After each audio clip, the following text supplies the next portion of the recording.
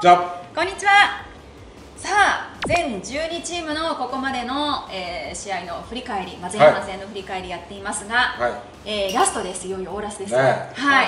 今回は、えーセ・リーグは、えー最下位のヤクルトそしてはい。パ・リーグは今首位を走っていますソフトバンクです。これ9月3日時点ですけれどもね。ね。はい、まあ、ヤクルト。はい、ヤクルトから。得点260うん。ね。失点317これすごいよね。57点すごいですね差がね、すごいよね、はい。で防御率が4.87おお、まあ、ほぼ5点取られるというね、はい。まあこれにはさやっぱ補強した島。うん。で中村はい。悠平、この正捕手が2人抜けたということ、はい。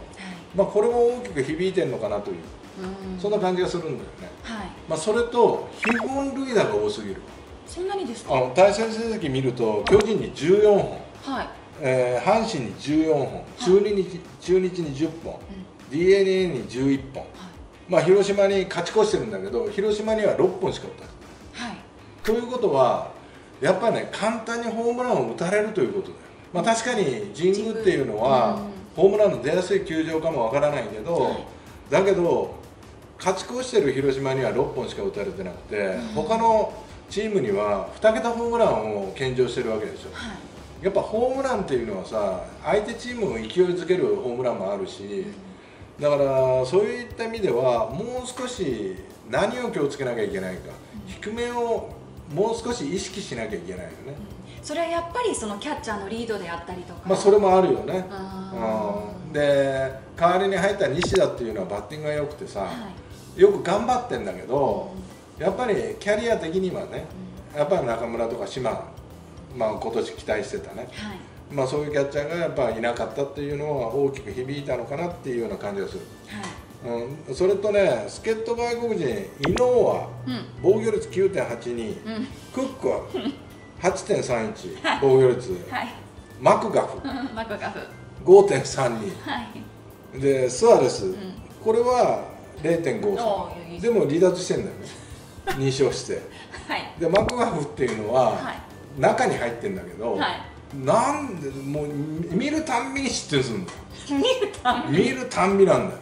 見ない方がいい。見ない方がいいのかな。思っちゃってきますよねこっちがただボールに力はあるし、はその悪いピッチャーではないと思うんだけど、うん。やっぱ失点するんだよね、うん。ただやっぱこう先発であの期待してたはイノワとかクック。ひどい。やっぱね計算外が起こるよね、はい。まあ、例えばそのヤクルトの投手陣はもう戦前からはい。少し弱いと。はい。いうふうに言われてて外国人をこうやってね補強に補強したんだけどその外国人がやっぱ活躍してくれないとさ勝ってくれないとさやっぱ苦しいよね、そうですね。だからそういう意味ではそのやりくりっていうのは非常に苦しいと思う。はい。で野手はやっぱこうセンターラインが落ち着かない、まあ、例えばキャッチャーも怪我で誰なの誰にするんだみたいな。で山田も途中で離脱した。はい。でエスコバはい。入ってる。でセンターも山崎入ったり青木がたまにやったり、まあいろいろしてるけどやっぱセンターラインっていうのをやっぱしっかり固めていかないといけないよね。はい。でエスコバーがね安定感がない本塁打1本。はい。ね。19打点これやっぱショートというポジションを考えても少なすぎる。ああポジションで入ったにしてもそれにしてもってことですね、うん、あとねうまいうまいってまあ球際うまいかもわかんないよ、はい。だけど俺はねそんなにうまいかって思う。じゃあ思い切って誰か変えた方が、うん変えるにしてもさはやっぱ控えに目を通すと、西浦が2割1分7厘、これはねあの印象的なホームランはな前半戦打ったよ。はい打ったけどで川端、これかつての首位打者だよね。そうですね。1割5分6厘打率が。はい。で荒木、はい。もう代打の切り札だよね。1割2分5厘。はい。広岡、はい。これショート。はい。西浦とともに。1割8分3厘。はい。で外野の上田、あのこうやってホームラン打ってきたとこうやって、俺が大好きはいはない。大好きだね。はい。1割4分6厘。低これさ誰使う代打だよ。いいませんいないでしょ。いない。いないでしょ。はい。だから言えばレギュラーはねあの野手陣はよくやってると思うよ。青木を筆頭にはい。坂口だとか、うん。まあ、村上もものすごく急成長したよね、はい。俺すごいよくやってると思うんだけど、まあ、山崎幸太郎っていうのもね、はい。やっと自分の力を発揮しだした、しかしベンチ入りの控えの選手たちが軒並み、まあ、西浦以外、西浦だって2割1分7厘でしょ、はい。他の川端荒木広岡上田っていうのがもう1割台でさ、もう使えない。のこれからもっと苦しい戦いじゃないですか、まあ、聞き返すのは、だって外国人がもう働けないでしょ。ね井上なんてもう。俺オープン戦の時見た時に、はい。自滅型じゃないんだよ。あ。コントロールもそもそもなんだよ。はだからこのピッチャー勝てるかなとか思って期待してたんだけどさ全然ダメなんだよい何がダメ何がダメやっぱね最初の取っかかりじゃないかな。パパーンとなんかあ勝ててリズムのまあ、ボクシングでスタートしたら一回パコーンとやられてなんか戦争したみたいな。井上はどう昨日は。もうもうもうダメだこれ。だから自分のリズムに持ち直すのにもっと時間がかかる。頭クラクラしてるぜみたいな。ああそんな感じそんななんイメージだよ。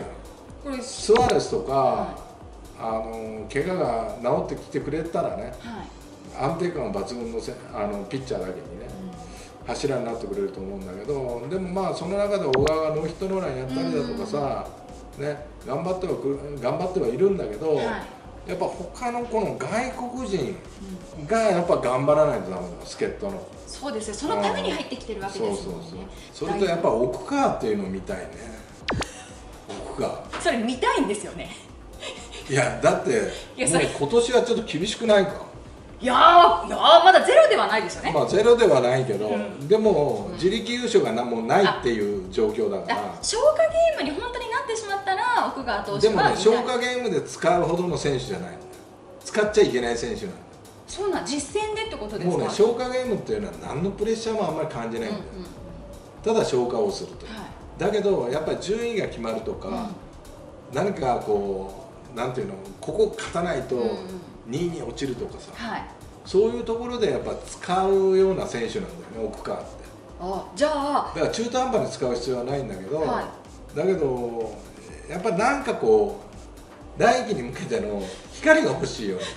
ヤクルトはあじゃあもう使うなら9月ですよねきっと10月頭半ば、あまあまあまあそうだよね奥川投手うんが見たいというこれは願望ですね。わ願望だよ。かりました。願望になっちゃった。まあでも頑張ってほしいよ。いやそうですよ。だって西浦川端川端なんかまだ32だからね。もう老け込む年ではないしうん荒木なんかもいいし広岡上田、うん。みんな素質豊かな人間がいるわけだから、はい。もっともっと頑張らないとね。そうですね。もう上田もホームラン打ってきてもじゃもじゃ頭でポンなってカメラ見てる場合じゃないんだよもいや本当に。うそんなことしてる場合じゃない。大好きだけどねそれ見るの。は見るのは好きだいけど。や他の球団もやってるでしょ。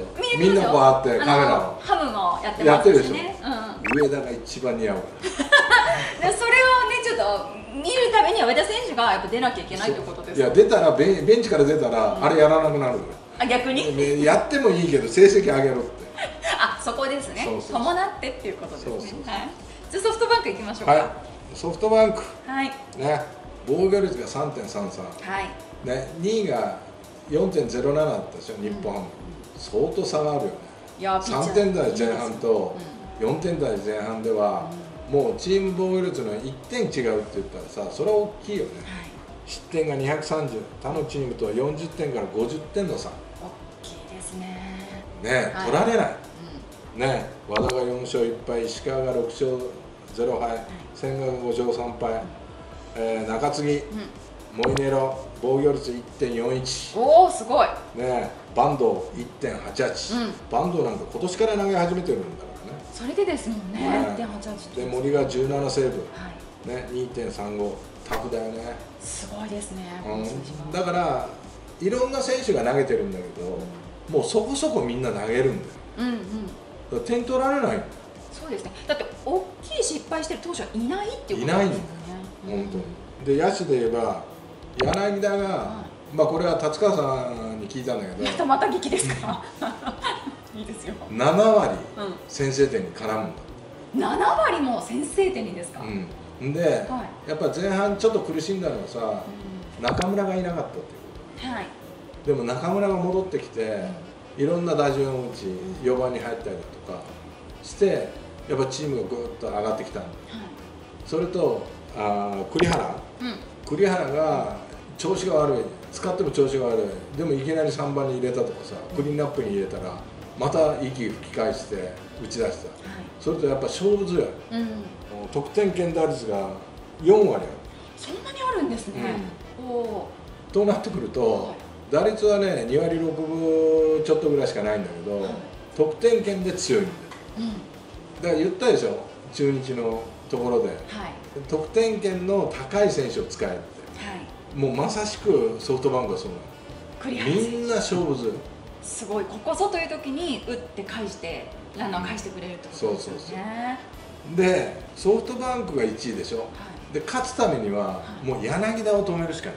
どうやって止めればいいんですか？いやだからあの楽天の時言ったじゃん。はい湯気塩見松井左この左があのポイントになってくる。はい。だからソフトバンク選手にその3枚を当てるとかさ。他のチームもですか？他のチームは？他のチームももう柳田にはワンポイント全打席ワンポイントでも左ぶつけるとかさ。ああだやっぱり柳田が止まらないとソフトバンクは止まらない。あ落とすためじゃないんだけどさ、この番組。まあもうそうです。他のチームがや あのソフトバンクより上に行くにはってことですかね。でもそれだけやっぱり柳田の存在感っていうのは圧倒してるの。あーすごいですねやっぱり、すごいでしょ。ういや今年三冠王のチャンスあるかん、柳田選手近い一番近いって結構皆さん言ってますよね。ら、うん。でもうそのうちはい。中田を抜き、はい。ホームランもねもう1本差になってるのか今9月な、のうん。はい。で打点もそのようについてきた。は打率だよね。吉田正尚っていうのが上にいるけど。いいますよ、だけどこれも分かんないよ。うん、わからない。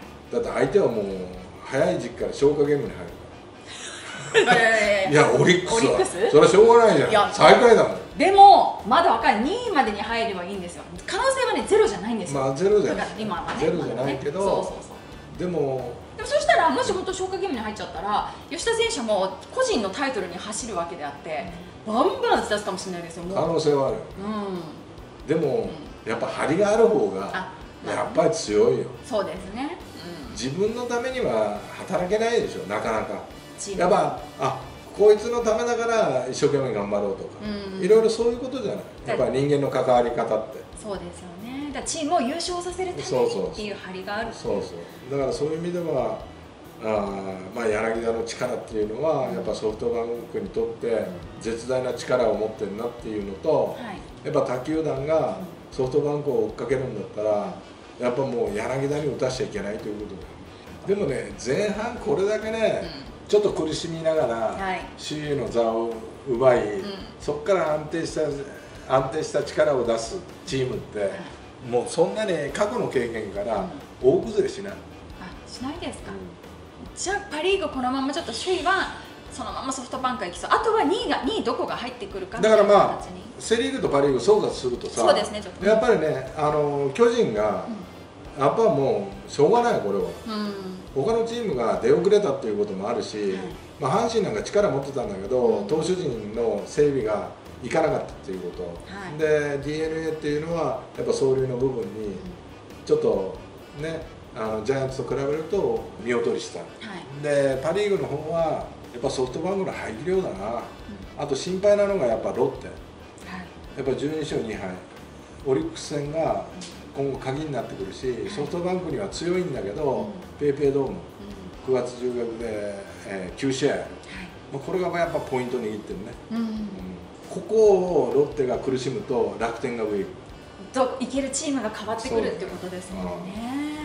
まあ、今年はねセ・リーグとパ・リーグでそのクライマックスシリーズあるなしで優勝にかけるこうねまた変わってくるっていうのもありますけれども、まあ、ちょっと12チーム駆け足になりましたが。まあでもあの諦めないでね、はい。最後まであの本当にプロらしい、はい。しっかりしたゲームをあー見せてほしいと思いますよね。そうですね。はい。後半も頑張ってください。